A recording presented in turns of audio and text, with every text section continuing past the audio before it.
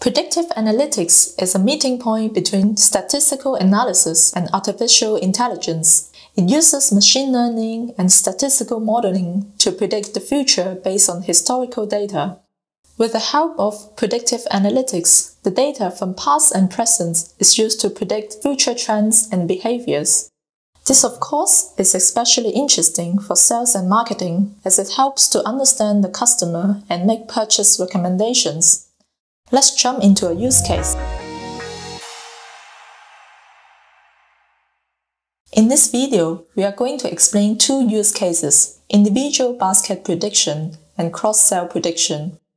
Okay, individual basket prediction. We want to find out which group of products each customer purchases together and to predict the most likely next basket which the customer is going to purchase. Here's an example. Petra goes to supermarket once a week. There are four baskets from the past four weeks. Week 1, spaghetti, bacon and cheese. Week 2, spaghetti, basil and olive oil. Week 3, spaghetti, bacon, cheese and chips. Week 4, spaghetti, basil and olive oil. Now the question will be, what will Petra buy in the next week? This example case is of course very simple. Petra is shopping weekly and follows quite a regular pattern, so we can predict that she is going to buy the same product as in week 1 and week 3.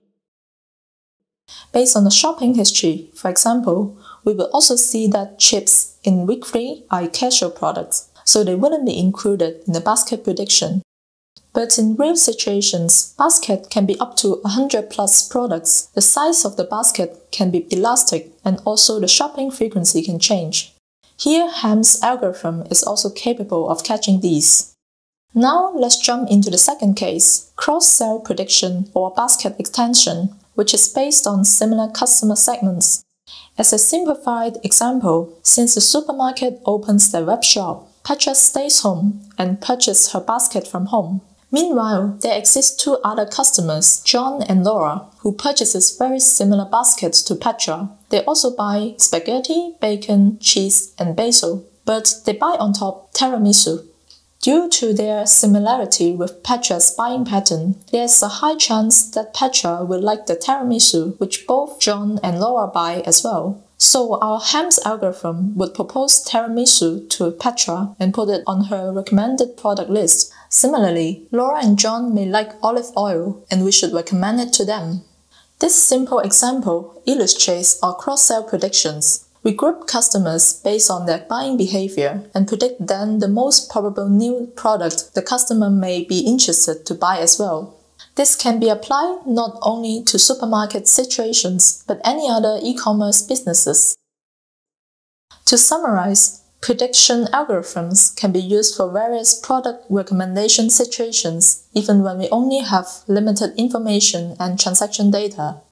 Basket prediction can be used to improve the customer's convenience or to provide accurate revenue and supply chain forecasts. Cross-sell predictions can create and extend business opportunities and potentially boost revenue. If you want to know more about HAMS predictive analytics modules, please contact us.